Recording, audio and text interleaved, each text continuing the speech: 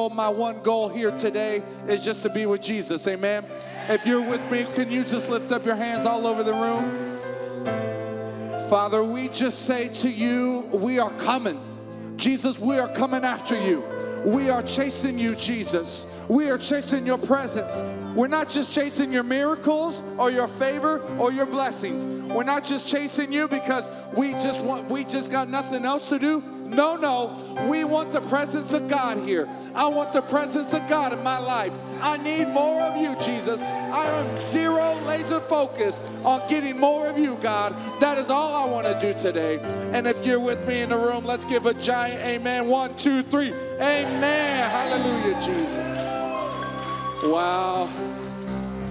Can you tell this amazing worship team how much you love them? Can you give them, come on, tell them, thank you, thank you, thank you. Return to your seats, but don't get too comfortable. Go ahead and remain standing. Act, uh, excuse me, John chapter 17. We got some scripture for you today. I'm just telling you, God is about to do something in this place. You've been hoping and searching and believing and praying for a breakthrough. You didn't know this, but today's your breakthrough day.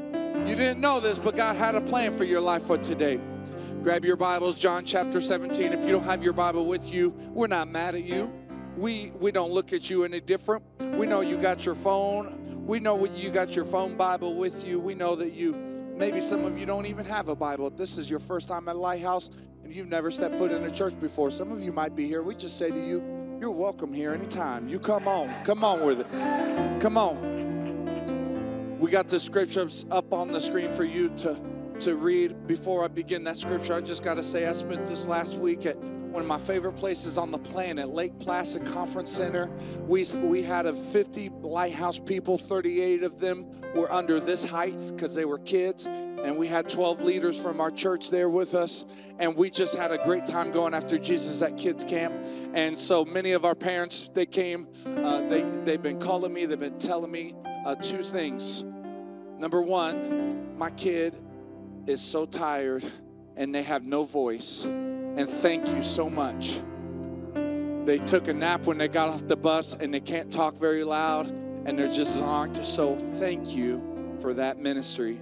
And then the other thing they say is they say, something has changed about them. God has done something in their hearts. And we say, Praise the Lord, amen. Come on. It's awesome. Many of our kids' team were there. They're still serving today. Some of the kids' team are in the room that went with us. If you were there, or if you served, I just want to say thank you. Mr. Don drove them and picked them up. Miss Sandy got them there. We just say thank you to all of you who helped with that. Amen. Amen. Thank you.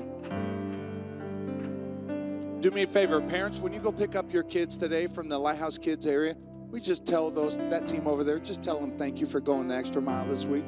In fact, can we just make that a regular practice? When you pick up your kids from the nursery, when you pick up your middle school or junior high kid or high school kid, can you just look at Pastor Connor Kaylee and just say thank you for what you do? Can we just make that a regular practice in our church? I think that's a good plan, yeah? John chapter 17 this is Jesus. He's praying. It's, his prayer is recorded. And this is what he says in verse 20. He says, I do not pray for these alone, but also those who will believe in me through their word, that they will all be one. Say one. As you, Father, are in me and I are in you, that they also may be one in us, that the world may believe that you sent me and the glory which you gave me, I have given them, that they may be one, just as we are one. I in them, and you in me, and that they may be made perfect in one. Say one. And that the world may know that you have sent me and have loved them as you have loved me. Today, we're going to begin a series of messages and thoughts on this idea of unity. And I want to title this message that God has for you when your breakthrough requires an army. When your breakthrough requires an army. I know we pray, but let me pray one more time over this word. Father, I thank you that your word is alive and active. It's sharp, Lord. It's sharper than any two edged sword. It separates our soul and our body. It, it, it pierces into our spirit. It, it penetrates into our hearts, God. Allow this word that you have placed in my heart now be placed in the heart of your great people here. Lord, I pray that if there's any of my word that wants to sneak its way, if there's any of my opinions or thoughts that want to sneak its way into the God's word, I pray that would be gone today. We don't want to hear from me. We want to hear from you. We thank you for it in Jesus' name. Turn to three people and say, Amen. God bless them. God bless you. God bless you. God bless you. You may grab a seat. Thank you, Tyler. God bless you. God bless you. You may be seated. We're so grateful to see you today. It is a great day to be in God's house. Thank you for worshiping with us. I'm so excited. As you know, this year we have been pursuing the greater. We have been believing for the greater. We have not been satisfied with what God has done in our life. We refuse to be satisfied with just mediocre or just good enough or just okay, but we are looking for the greater. Amen. I want to have a greater life. I want to have a greater marriage. I want to be a greater husband. I want to be, a, I was going to say greater wife, but that doesn't apply here. I want my wife to be greater. Don't tell her I said that. She's with the kids today. I want to have a greater ministry. I, I, I want my life to go after the greater. I want to be the type of person that goes after the greater. You've heard this time and time again this year, but we are believing and we are hungry and we are seeking the greater things of God. Amen. Not just the greater in my life, but I want our church to be greater. God has done great things in Lighthouse. We are so grateful for the years of faithful ministry from our legacy pastors. Can you tell them how much you love them? Our legacy pastors in the room. Come on. We are grateful for the years of ministry. We are grateful for what God is doing. We are grateful that we are part of a great church, but there is nothing that we are doing that God is not calling us to do at a greater level. Amen greater level, more souls saved, more people coming to the kingdom, more people supported, more ministry to the next gen, more worship, more prayer. Everything that we do, God is calling us to the next level. He is calling us to be a part of a great church. Amen. We are looking for the greater. We are hungry for the greater. We are not satisfied with just the okay, but we are hungry for the greater. So, over the next several weeks, as I said, we're going to be looking at the secret weapon for the greater church. What is the secret sauce for the church that is greater? What is, what is the church that is great? What do they have that other churches don't have? There are great churches all over this nation. There are churches that are making big impacts. Lighthouse is one of those churches, amen those churches that are making the most impact, those people that are doing the most for God, those, those people that are, are, are making a difference in their community, they have one thing in common. They have one thing that they have a secret sauce. It is what keeps them moving forward and what keeps their impact great. And that thing that they have is what we're going to be talking about. And the word is unity. Say unity. Now let's say unity in unison. One, two, a, B, go. I tried to trick you. The enemy tries to trick us and he tries to get us to have division in our churches. But God is calling us to unity in our church. You know what the difference is between division? You know what the word division means? The word division is the word die, like uh, to divide. The, the word division means multiple visions. Instead of vision, which is one vision, Division is multiple visions. We, we have multiple ideas of what church is. We have multiple things go. There, there, there is not a unity in the vision. And so now what do we have? We have division. We have division. And so what the Lord is calling not just our church, but the capital C church, all the churches, is to come under this powerful idea of unity. So, we, as you can see on our banners now today, starting today, we are going to be believing and striving and searching for greater unity. Amen. This is what John chapter 17 is all about. Think about this. Think about this. This is Jesus's one of Jesus's last recorded prayers in all of scripture. This is right before he passes away. This is right before he gets crucified. before he comes back. And what is Jesus praying for? What is Jesus believing for? There is one thing that Jesus is praying for in John chapter 17. Go back and read the whole thing if you have time. Don't do it during my message. Please. John chapter 17 records Jesus' prayer. He is saying, Jesus, now he's not saying Jesus because he is Jesus. He's saying, Father, here's what we need to pray for. Do you know that Jesus is praying for you when he prays this? You are recorded in Scripture. You may not know that. You may just think you were forgotten, but you are recorded in Scripture. You are recorded. Your name may not be in Scripture, but you are recorded. Jesus says, I'm not only praying for the 12 disciples, my group, my group, my gathering that I have here today. I'm not just praying for that, but what does he say? I'm praying for all future believers who will believe the message from these who are here now. How many are a believer? How many are in the future from when Jesus said this? You are a future believer. That is who Jesus is praying for. Jesus was praying for you. And what is he praying? He prayed that they would be one, that they would have unity, that they would come together, that there would be one vision, that they would be in one. Just like Father, you and I are together just like I listen to you and you listen to me, and, and, we are in this together, and I can lean on you, and you can lean, and you lean on me, and you help me, just like that, God. May they be like that. May they be that way. And do you know the Bible records what Jesus is doing now? We get this wrong sometimes because as kids we say things like, Jesus, how many want to ask Jesus into their heart? And that's great.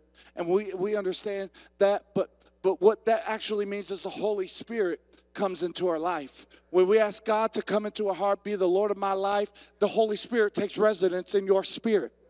The Bible makes it very clear what Jesus is doing right now. It says he is interceding for you. He is praying for you. I just I'm just a big believer that what Jesus prayed for before he was crucified is probably the same prayers he's praying now. Jesus, Father, help them to be in unity. Help them to be in one accord in Jesus name. Amen. This is what God has been praying for. Unity is important in God's word. Let me give you some scripture. Write these down. Second Corinthians 13 11. It says, finally, brothers and sisters, rejoice. Say rejoice. Strive for full restoration. Encourage one another. Be of one mind. Say one mind. Live in peace. Say peace. And the God of love and peace will be with you. I don't know about you, but I believe we are in a nation that is hungry. They don't even know how hungry they are, but we are people who need peace in Jesus' name. Amen. Peace. Acts 4:32. All the believers were in one heart and mind. No one claimed that any of their possessions was their own, but they shared everything they had. Galatians 3:28 there's no longer Jew or Gentile, slave or free, male and female, for you are all one in Christ. Say one. Acts 1:14 they all met together and were constantly united in prayer along with Mary the mother of Jesus several other women and the brothers of Jesus they all met together and constantly united in prayer John 13, 35. By this, everyone will know that you are my disciples. By how? How will they know? How, how are you distinguished from everybody else, from every other culture? How will people know that your life is separated from everybody else? How is this accomplished? By the way that you love one another, by your love. You are united. You are united. Unity is important in God's word. Unity is important. Say unity. Let's say unity together. One, two, three. unity is important in God's kingdom.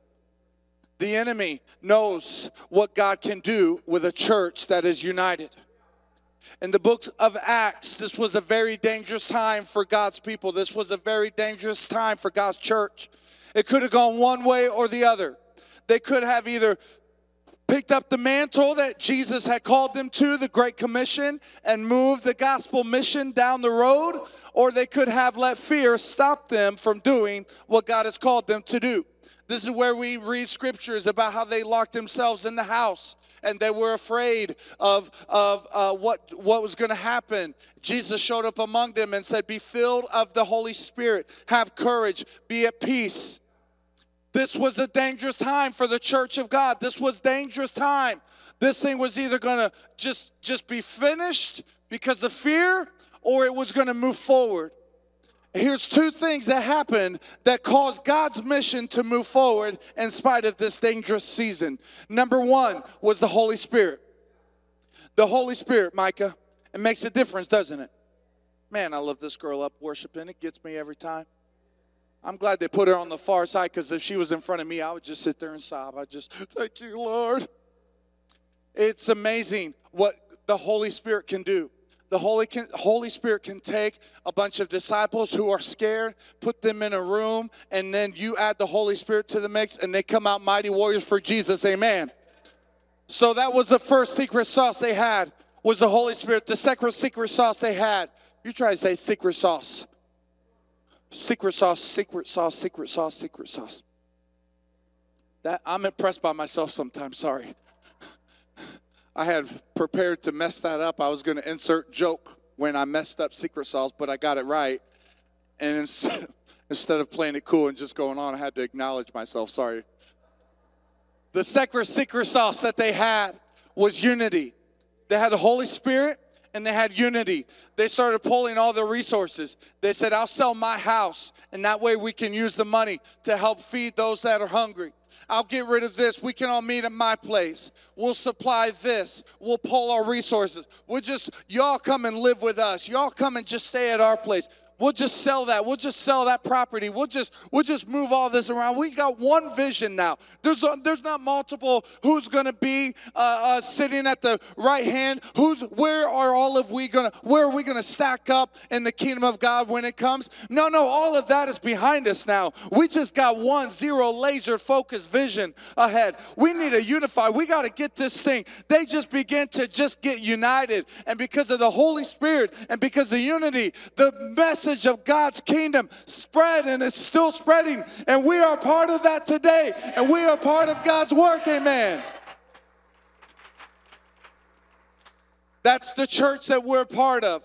That's our heritage because we are a part of a movement that said, Holy Spirit, do what you want to do. And by the way, I'm going to love my brother, and my brother is going to love me. And this is how they will know that we are God's people because we are united together. Amen. Unity. Unity. Oh, I hope you get this. Listen to me, Lighthouse. The Holy Spirit and unity is all you need in your life. Whatever you're walking through, whatever situation that you're hungry for, whatever you've been praying for, whatever breakthrough that you need in your life, I got the remedy for you. I got the secret sauce I'm about to put on your Chick fil A sandwich. I got the secret Chick fil A sauce. It's all you need. There's two things that you need. You need to get the Holy Spirit involved in a situation, and you need to get an Army United involved in a situation. Amen. In fact, there's no marriage too broken, there's no prodigal too far, there's no work environment too bad. There's no high school student too rough, although we have a couple record breakers There is no health issue. There is no depression. There is no anxiety. There is not one thing that you brought into this place today that if we can't get the Holy Spirit up in the mix, and you can't get an army of believers united with you, that is all you need. Come on, Jesus. Come on, somebody. It's all you need. I just done dipped your whole chicken fillet salad sandwich in that secret sauce. I don't know. I must be hungry. I, I was not planning on talking about Chick fil A, but it's just coming out of me. Speak, Lord. Somebody once uh, was driving through somewhere that had a Chick fil A and brought me a few of them and gave them to me. And I just, I just say to that prophet, you can do it again if you want. nah, I'm teasing. Listen, we've got to seek the Lord, the Holy Spirit, unity. Those are the goals. The, if the goal is breakthrough, then make the new goal, the new target, Holy Spirit and unity. The other goal will take care of itself if we get the Holy Spirit going and we get unity. Amen. It's my desire that we have a church that doesn't just keep breaking through, but we live through. We've had, how many have had a breakthrough season in your life where God has done something great? How many have had, would be honest, and you don't have to raise your hand with this, but how many have had a time in your life where you were praying for something and it broke through and you got a healing or a miracle, but then weeks later, months later, years later, it came back and and now you are back to where you were before the breakthrough started. You don't have to raise your hand, but this happens. This happens in the church. This happens to believers. I, I was depressed and I came to the altar and I got healed and I had a great three weeks. But then the depression came back. I was, my marriage was good and we got on the same page. God did an, a, a breakthrough in the altar. Praise the Lord. But six months later, we're back to where we started. I was I was whole in my body. I had no more back pain. I was set free. I was sleeping good. But then 3 weeks later, my back hurt me again and I wasn't sleeping again. Sometimes we have to break through and break through and break through and break through and break through and break through. Some, I, sometimes I feel bad for the wrecking ball. You just got to keep breaking through and breaking through and breaking through. But I am just praying and believing in my spirit today. I just hear the Holy Spirit saying, Today you are going to break through and not just break through, but live through. If you receive that, will you stand in your place? I'm going to just go rogue for a minute.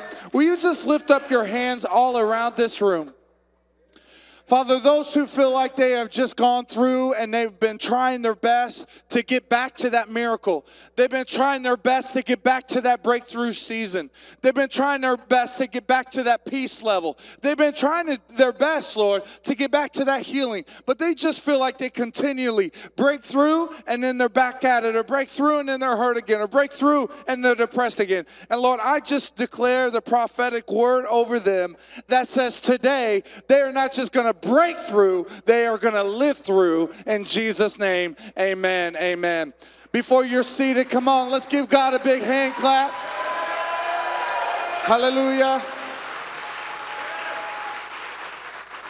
I want you to find seven people and put your finger in their face and say, Live through today. Seven people, not six people, not three people, not two people, seven people. Live through, live through, you're going to live through today. You're going to live through. You're not just going to break through and go back. You're going to live through. You're going to stay. You're going to stay whole. You're going to stay well. You're going to stay free. You're going to stay free. Whew. Man, I feel God's Spirit on this today. Whew. Thank you. You're going to live through. You're going to live through. I am praying and believing that we are going to enter a season of living through.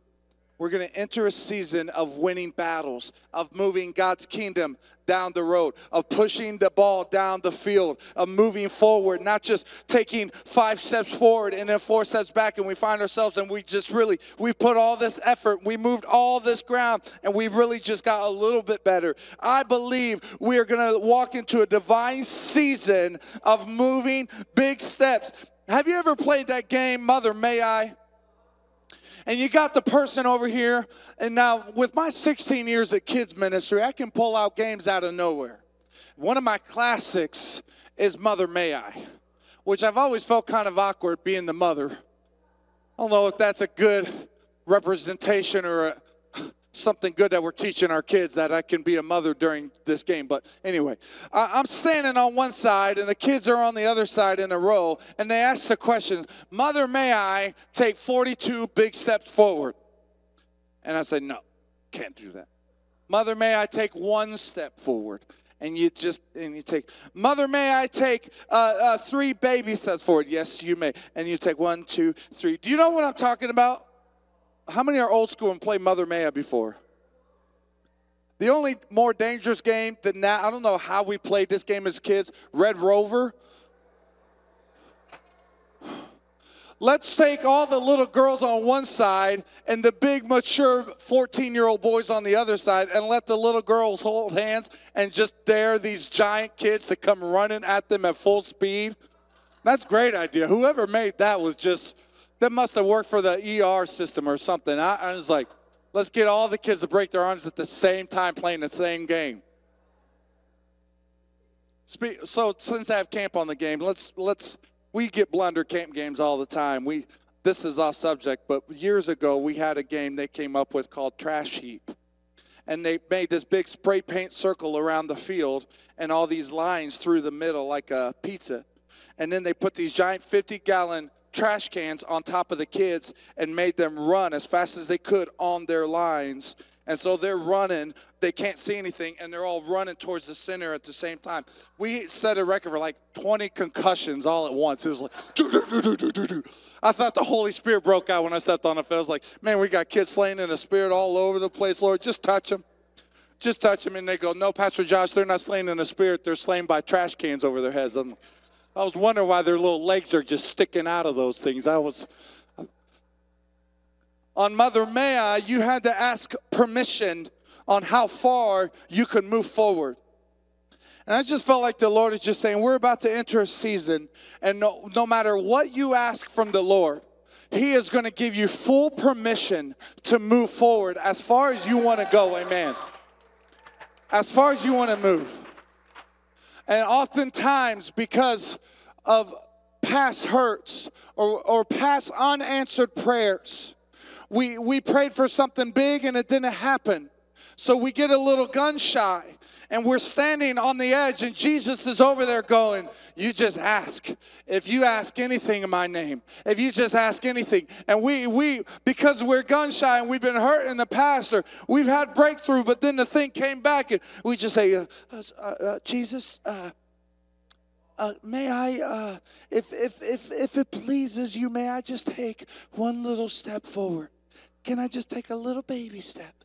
And Jesus says to us, Hey, if it pleases me, it does please me. I want you to be whole. I want you to be free. I want you to walk and run in freedom. I want your life. I want your marriage. I want your kids to be whole. Don't ask me if it pleases me. That's already answered. It does please me. Don't ask for little baby steps. It's time you ask for big running steps. Amen. If the Holy Spirit's in it, if there's an army in unity, it can be done. It's time to live in the breakthrough. It's time to live through. Amen. I want to give you an example of this in Exodus chapter 17. One of my favorite scriptures, although I say that about every Bible story I read. So I think they're all my favorite, to be honest. But Exodus chapter 17, we read a familiar story. It's verse 8. It says, While the people of Israel were still at Rephidim, the warriors of Am- Amalek attacked them. Moses commanded Joshua, choose some men to go out and fight the army of Amalek for us. Tomorrow I will stand on top of the hill, holding the staff of God in my hand. So Joshua did what Moses commanded and fought the army of Amalek. Meanwhile, Moses, Aaron, and Hur climbed to the top of the nearby hill. As long as Moses held up the staff in his hand, the Israelites had the advantage. But whenever he dropped his hand, the Amaleks gave, gained the advantage. Moses' arms soon became so tired he could no longer hold them up. So Aaron and Hur found a stone for him to sit on. Then they stood on each side of Moses, holding up his hands. So his hands held steady until sunset. Come on. As a result, Joshua overwhelmed the army of Amalek in the battle. This account is the example of unity that God is calling our church to step into.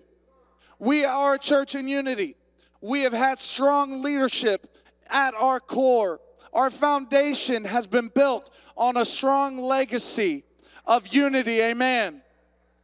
I'm so grateful for pastors that have been here for 35 years that did not let disunity go unchecked?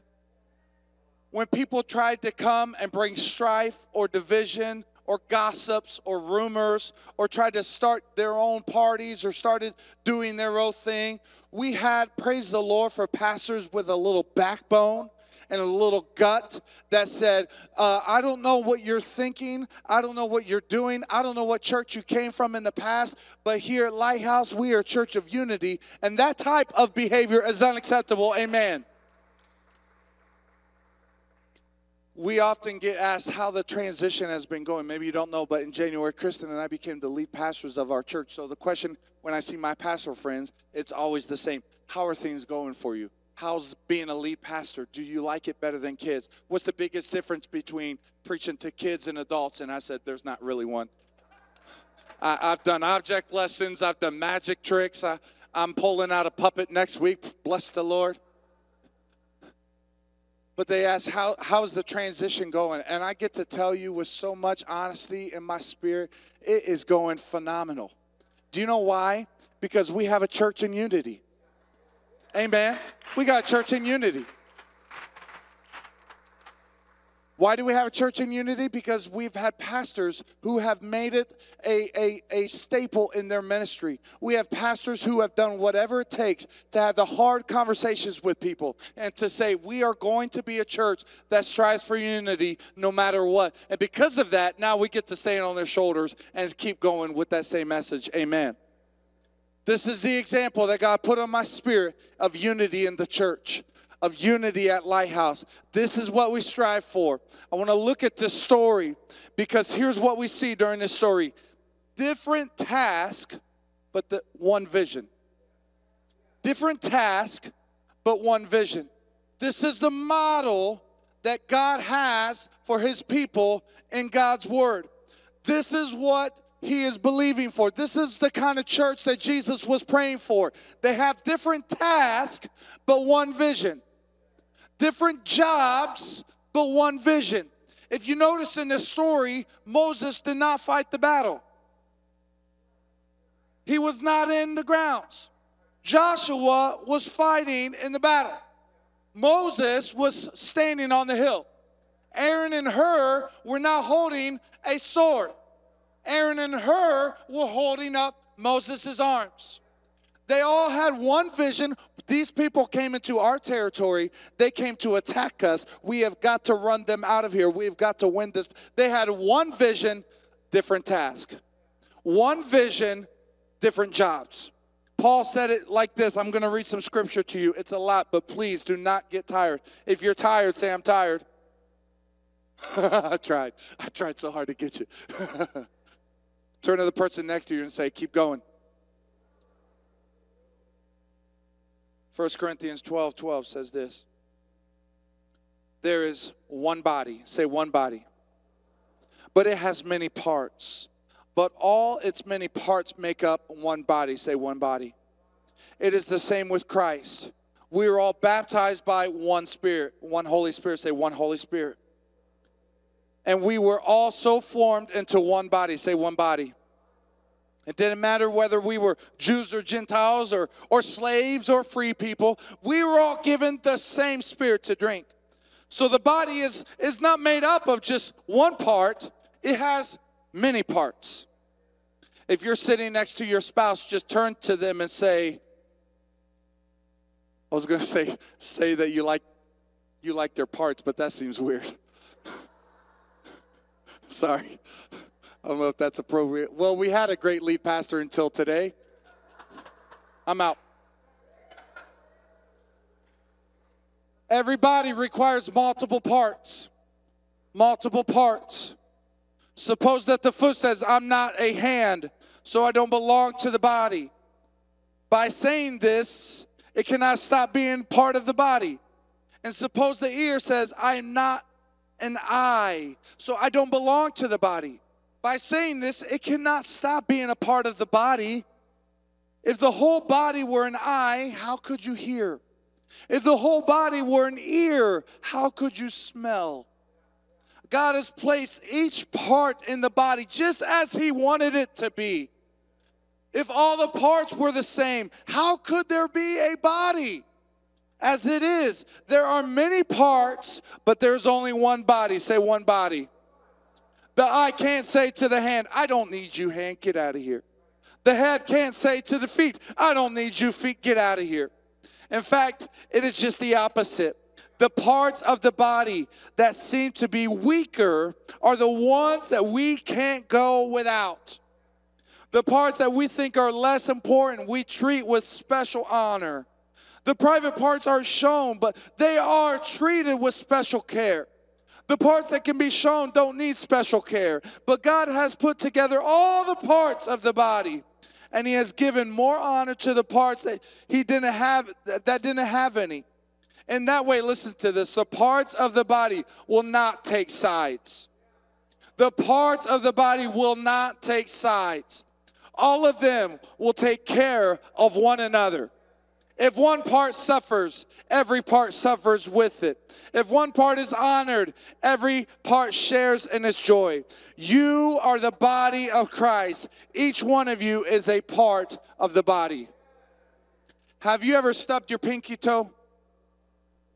There is nothing that feels that I would estimate in my life that is closer to the pain of hell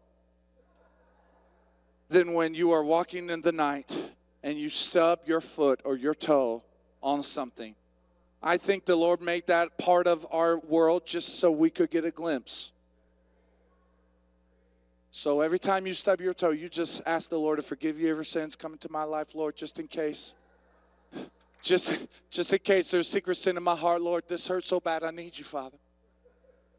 When a part of your body is hurt, even if it's the small pinky toe, your time your energy, all you can think about is getting that part of your body back and restored. In fact, our, our church has many nurses and doctors and, and people in the medical field. We honor you. We're so grateful for what you do for us. Amen. We're so grateful.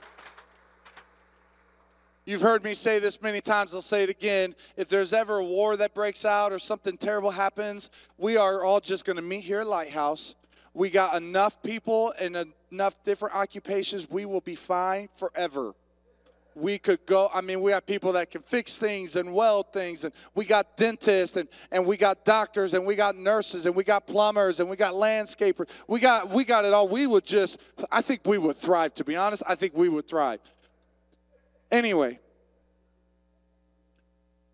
those doctors in the ER those nurses in the ER, when somebody comes in and there's a part in their body that is hurting, they don't go, uh, Doctor, I have some stomach pain, uh, but also I got some gray hair. Uh, could you uh, dye that for me while you're at it? Or, or doctor, uh, I cut my hand really bad. Could you fix that? And while you're at it, doctor, uh, I, I got some I got some warts down here that need looked at, or or when somebody hurts themselves and cuts themselves really bad, they don't go in and just say, "Hey, doctor, can you fix this part?" But but while you're at it, will you go ahead and clip my toenails down there while you're at it? They they don't care about they don't care about the cosmetics of the thing. Whatever is hurting, that is what needs fixed. That is what they're concerned about. How many have ever been in so much pain you showed at the ER that way? I know my mama did this earlier this year. You know the story. She had some some things happen internally, and and she had to get to the doctor, and she didn't care what what outfit she had on. She didn't care what her hair looked like. She had one thought there's a part of my body that is not working correctly. I got to get this thing fixed. And Paul is saying the same thing. When there is one part in the body of Christ that is in pain, all other parts suffer. This is why it breaks my heart. Can I be real with you really quick? I'm going to I'm going to coach you up really quick, can I? It breaks my heart when I see somebody with boldness and courage. I know how much boldness and courage it takes. Sometimes walking these 40 feet seems like walking 40 miles. And when I see somebody walk to this altar and they come up here for prayer or they kneel down, and there is not an immediate prayer partner, somebody with them to put their hand on their shoulder and to pray with them, it breaks my heart because I see a wounded part of the body that is looking to be restored. And if that person does not get restored, the entire body will suffer.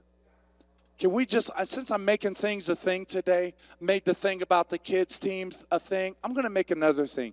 Nobody prays at the altar alone from now on. Can we just make that a thing? Are we in unity about that? Can we make that a thing? If you're serving the Lord and you're right with God and you don't have secret sin, you're not acting one way or the other way, you're not acting like everything's fine here at church and then you're living a sinful life, then you are deputized to pray for people when they come. Get up here and pray for them. We are a church in unity. If one person is hurting, we are all going to suffer. We got to get that person whole. Amen? This is what Paul is saying. He's saying we've got to look at our church like the body of Christ because that's what it is. Not each party has the not each uh, part of the body has the same task or job, but they are part of the same body. The fingers don't do the same thing that the nose does. The nose, I'm not that medically uh, uh, uh aware, but I do know that the ear and the nose do different things. Some of you are impressed, I know that much we were praying for somebody the other day, and that the prayer was they need an organ in their body. I don't remember what it was. They need that organ in their body to begin to work right. And we were kind of, some of us were standing around, and they go, What does that even do? And we were like, I don't know. I guess it's an important part, but let's pray that it gets better. It's like a spleen or a pancreas or something. I don't know what it was. I don't know what it does, but they say you need it. So let's pray it gets better. those in the medical field, you got to bear with me. it's like, Pastor, this this person's pancreas needs uh, needs prayed for, and I'm like, okay, where do I place my hand?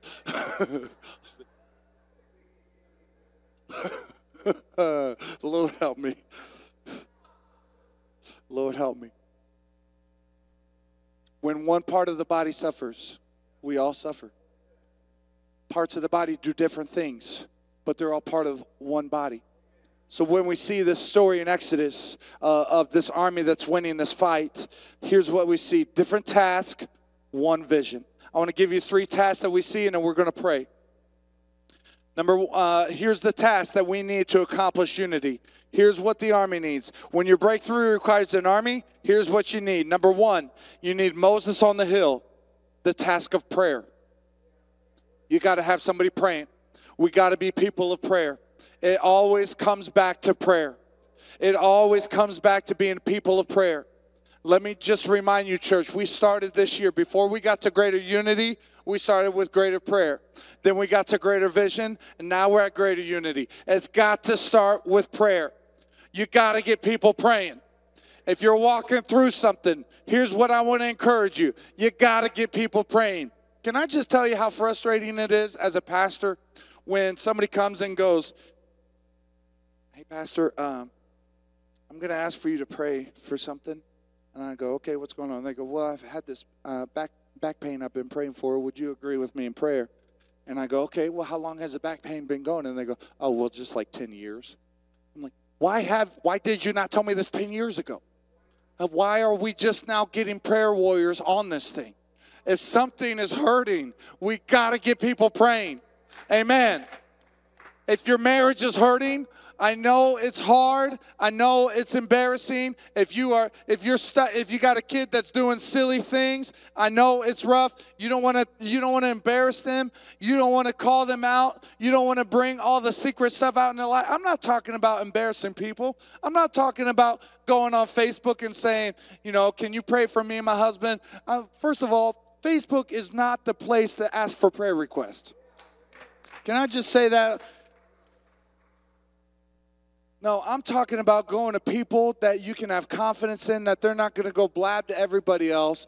But when they get up in the morning, they're up before you, and you wake up in the morning and your eyes wake up, and you can start thinking, you know what, this person has already been up for 30 minutes praying for me.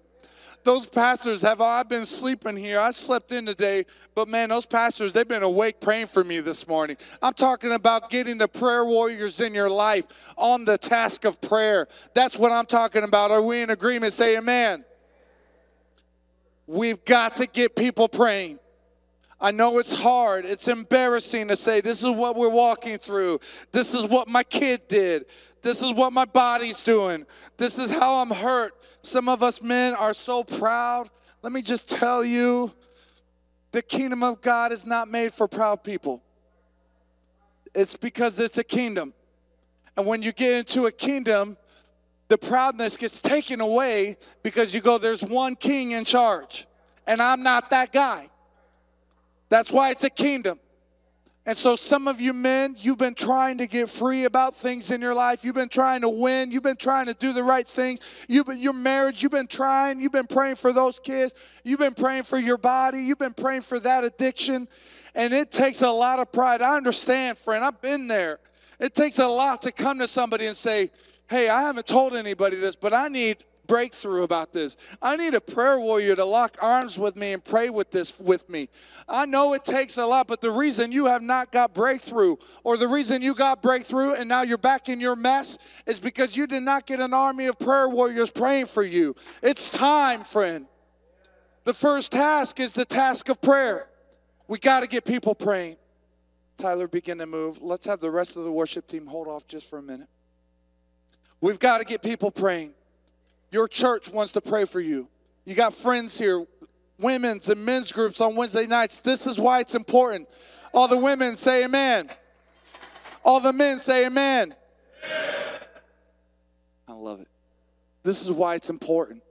Because something happens when you come into a group and you sit in a circle and go, This is what I need prayer about. And you got men of God who want to join you in prayer. It's important. We got to get people praying. Moses' task was not to be in their fighting. Moses' task was not to be in the mix. Moses' task was a task of prayer. We got to have people praying. Here's the test, uh, second task that your army needs. You need Moses on the hill. You need the task of prayer. Number two, you need Aaron and Hur holding up Moses' hands. This is the task of support. Moses was doing the prayer thing, but he needed support. This is why, men, we got to get rid of our pride and ask for support. I've been trying to break through. I've been trying not to just break through, I've been trying to live through. I've been trying to make a difference. I've been trying to be the man of God I'm called to be. I've been trying to live at peace with my wife or in our home. I've been trying to be the right father. I, have been trying to be the right boss. I've been trying so hard to be the right coworker. And I've been praying for it. But it's not just prayer, it's also support. Prayer is powerful. Listen to me, church. Prayer is powerful. Prayer is powerful. Amen. But support is so powerful as well. I'm not saying don't pray and just ask for people to help you. No, I'm saying you need both.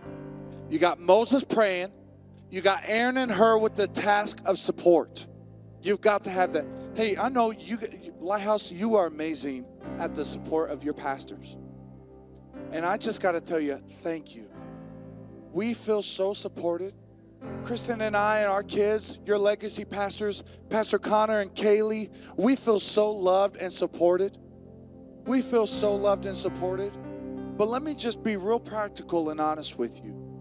When we got spots in the nursery to fill, we got spots with the kids' teams, or we need bus drivers, or we need Sunday school teachers, we need ushers, we need impact team. We got great people in all of these ministries. But unless we can get the support built up to withhold more, God is not going to bring more. I have this conversation with our kids team all the time. Why don't we have 300 kids? Why do we only have 200? Why don't we have 300? Well, I'll tell you why. Because we can't handle 300. Because if 100 more showed up this Sunday, the walls would break, there would be fires, and the police would have to be called. The reason why our church is the size that we are is because we're not ready to handle more. So, what do we have to do? We've got to get ready to handle more. We need more support. This is why Next Steps class is so important. It is not about getting you plugged in and doing a job so that we can check that box off. It is because when you are doing a part of God's kingdom, that you are passionate about, that you care about. It draws you, you become closer to Jesus. Come on. You are closer to Jesus when you are locked in and doing the work of Jesus with Jesus. I'm not saying working for Jesus without him. I'm saying me and God are walking hand in hand and we are ministering ministering to these kids together. We are greeting people together. We are worshiping together. We are playing instruments together. When your passion connects with the heart of God and the kingdom of God, God will use you for something great. We need more support. We got to bump up the support. For all of you that did not start the year doing any kind of ministry, but now you're serving in some capacity, you're part of the impact, you're on the worship team, I just got to tell you, holy cow, I'm so proud of you. Wow, thank you. Thank you for jumping on the team. I appreciate you. I see what you're doing. I see how you've stepped up. I've seen how you're working. Thank you so much. For those of you, you've been serving in this church for years. Some of you have been serving longer than me, and that's a long time. Thank you. Your support of our church and ministry here means everything. This is why tithing is important. It, this is why tithing is important because it goes, God, when I put you first in my finances, then you are first in everything else in my life. If tithing is important, our church is going to be fine. Our church is our church is going to be fine. God is going to provide. Tithing is not to meet the needs of the church. Tithing is to put you in right standing with the Lord. That's what it's for. That's what it's for. We put God first in our tithing. We put God first in our finances. Everything else is going to be fine. It's His word. The rest of the worship team now, if you'll join me. Nobody else leaving. Let me give you the third one. Moses on the hill, task of prayer. Aaron and Hur holding up Moses' hands, the task of support. And then Joshua in the fight, fighting, the task of action. The task of action. This is what I'm talking about. It's time for action to take place. It's time for movement. You know, there's times in Scripture there's just a handful of times, but I'll give you a time in Scripture. God says the words, listen to this. It's going to shock some of you. You're not going to believe me. But you can go back and, and then text me later and say, You were right. I'll, I'll take those tests, uh, text all day long. Bless the Lord. I save those on my phone. I screenshot anytime somebody text, text me, you were right and I was wrong. I just save that and just say, thank you, Lord. And then I just wake up every morning and read, I'm right, I'm right, I'm right, I'm right, I'm right, I'm right. No, it doesn't happen. Uh,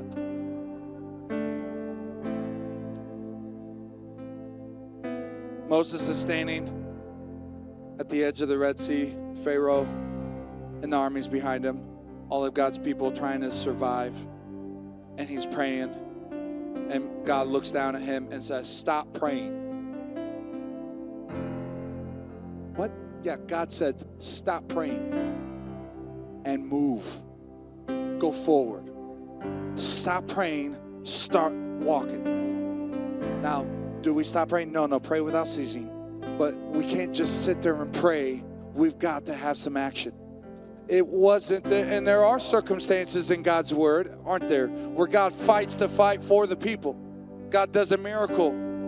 I think I think about the story where where they get confused and they kill each other off, or when when uh, Pharaoh's army gets drowned in the sea but more often than that, God says we need somebody praying, we need somebody supporting, but then I also need you to fight. I need people fighting. In this story, God didn't say Moses and Joshua and Aaron and all the people are going to stand at the top of the hill and then the armies are just going to fight each other. No, no. Somebody's got to get down in the valley and somebody's got to fight. And, church, I will say to you, your faith requires action. Faith without works is dead. Your faith requires action. If you are working and you are pushing and you need a breakthrough in your life, whatever area it is, let me give you the remedy again. Number one, you got to get an army of people praying. Number two, you get an army of people supporting. And number three, you got to get an army of people fighting and taking action. Our faith, our breakthrough, our peace, our hope, our joy, our wholeness requires an army. God can do all things. God can heal the sick. God is delivering people. I'm hearing it all the time that God is doing great things in this ministry, in this church. But God is using the army called Lighthouse to make a difference. The more unified we are, the more difference we make. We are stepping into a season of greater unity. If you are with me, will you stand to your feet all over this room? Every man, woman, young man, young woman, child, if you're in the room, we're going to begin to go after Jesus together. It's time we gather as an army. It's time we gather as an army. It's time we're united. Amen. I'm not saying we're not. We are a unified church. But I'm praying for greater unity. Here's what this looks like today. Feel somebody, two or three people putting their hands on your shoulders. And Pastor Holdeman, Pastor Kathy, myself, we're going to come and we're just going to anoint you in oil like it says in James to do. And as we pray for you, you're going to feel the army of the Lord come and join hands with you and fight with you. And you're going to receive your breakthrough and not just receive breakthrough, you're going to live your breakthrough out. Are you tracking with me? Are we united in this? Here's, here's what's hard. I understand this. Some of us have medical issues. It's hard for us to stand, it's hard for us to walk forward. I understand that. What I would encourage you to do is just come forward and sit on the front row with us. Just sit in the front, lift up your hands, or or maybe you have to, maybe for some reason you can't walk. Not that you don't want to, not that you just you just don't feel like going to the front. I'm talking about you have a medical issue, you can't walk forward. Just extend your hand and pray for us as we're up here fighting. We got to have people praying. We got to have support. And we got to have somebody doing the action. Amen. My prayer, I'm not trying to put anybody on the spot, but my prayer is that we would be united in prayer for each other. Can we lift up our hands all over this room? First of all, let's just pray that the Lord would check our heart. God, is there pride that keeps me from praying for others? Some of us here, Lord, we feel like we're walking through our own thing, so it makes it hard for us to pray for others. I understand that. But Lord, you're calling us to be like the early church, to be united, to walk in unity with each other, to lift up each other's burdens, to pray for each other, to support each other, to take action with each other. You're calling us to be the church of God. You're calling us to be with one vision and not division, one vision. So I pray that today you would help us. With our heads so uh, bowed and our eyes so closed, if you're here and you do need a breakthrough in some area, your kids, your family, your home, your workplace, there's an area of your life that you need a breakthrough. If that's you, will you lift up your hand all over this place?